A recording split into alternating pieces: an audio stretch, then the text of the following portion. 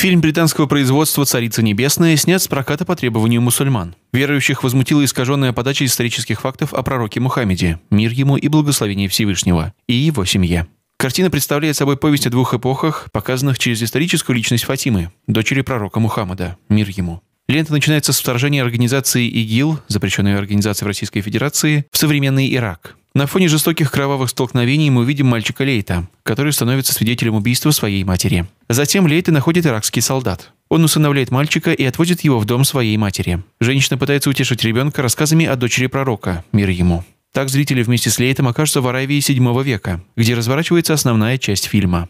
В этой истории Фатима выглядит как безликий персонаж, окутанный черной пеленой. Ее и называют «небесной царицей». Автор сценария Ясир Аль-Хабиб – радикальный шиитский проповедник из Кувейта, руководитель религиозной организации Хадам Аль-Махди. Фильм – полнометражный дебют режиссера Эли Кинга. Больше всего мусульман возмутило то, что исторические события в фильме показаны в соответствии с видением истории шиитов-двунадесятников, с которым категорически не согласны авторитетные ученые и историки. Кроме того, авторы картины попытались увязать историю ислама VII века с бесчинствами, которые творили члены ИГИЛ в веке нынешнем. Крупная британская киносеть Sign World, взвесив все за и против, отменила показ неоднозначной ленты из соображений безопасности сотрудников и своих клиентов. Решение возмутило продюсеров фильма, которые назвали его глупым и несоответствующим ценностям британского общества. Расстроенный продюсер Абдул Малик Шлибак окрестил радикальными экстремистами тех, кто выступил против неоднозначной картины, на создание которой было потрачено 15 миллионов долларов.